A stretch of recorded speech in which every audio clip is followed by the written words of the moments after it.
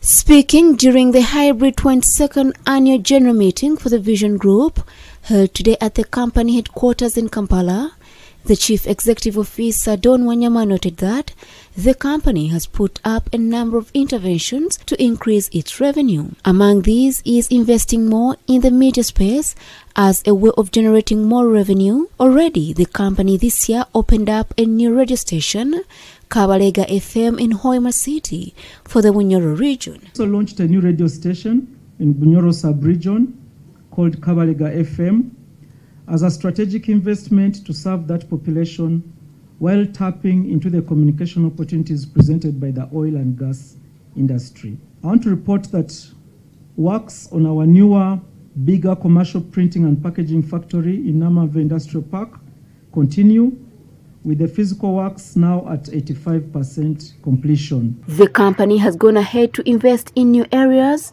that management hopes will be able to give Vision Group extra money beyond traditional media businesses. These include digital outdoor advertising, commercial printing, among others. I want to report to you that in the past year, we launched a new business line called Vision Outdoor, which has seen us erect now eight digital billboard sites in Kampala, Jinja, and Mbarara. This is a promising business, and we are hopeful to give us significant returns in the mid and long term, also as we scale it up. Patrick Ayota, the chairperson of the Vision Group Board of Directors, revealed that the financial year 2022 2023 marked the fourth year of the group's five year strategy, which he said was full of challenges. He, however, assured shareholders that despite the challenges, the company kept business innovations and media diversification as a strategic driving factor during the year. People are getting their news right from, they're not waiting until the next day to buy a newspaper because they can get it right uh, on the phone as it happens.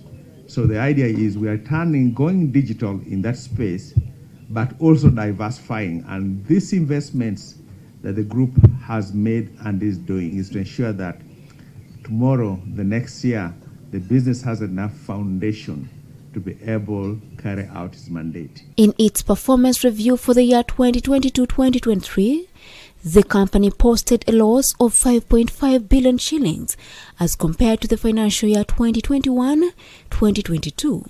The overall revenue also dropped to 87.6 billion shillings, down from 111.4 billion shillings that was recorded in the year 2021-2022. Made a loss of close to 5 billion shillings in the previous year because of the geopolitical tensions affecting the raw material prices. Yet the customers were just recovering from the lockdown, so not much came through advertising revenue. Past year has been challenging.